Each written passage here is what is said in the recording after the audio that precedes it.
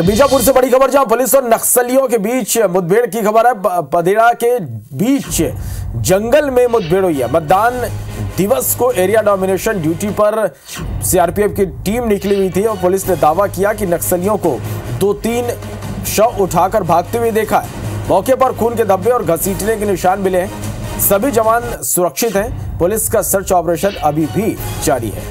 तो बीजापुर से खबर, जहाँ पुलिस और नक्सलियों के बीच मुठभेड़ हुई है। पदेड़ा के बीच जंगल में पुलिस और नक्सलियों के बीच मुठभेड़ हुई है।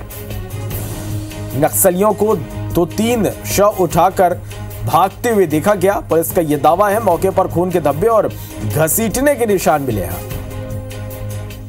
सभी जवान पूरी तरह से सुरक्षित हैं। पुलिस का सर्चिंग अभियान जारी है।